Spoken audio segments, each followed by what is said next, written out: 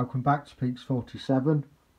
We're going to go back in time a bit and I'm going to show you how I've made this good shed.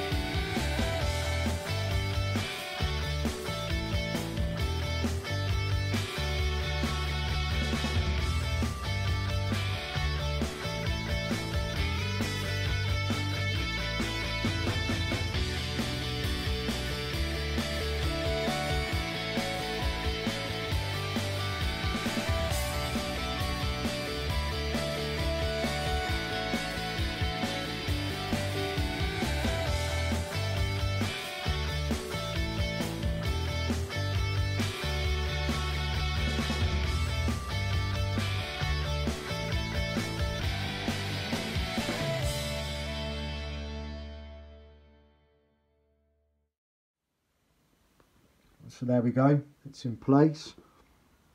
So I just need to ground it a bit better now by adding a bit more sand and PVAing it in just to lose that bottom edge. I'm probably going to put a bit more vegetation around this back area as well. Glaze the window. Not sure it'll make much difference but I'll probably do it. I'm just touching these corners of the card and a little bit more vegetation on this top edge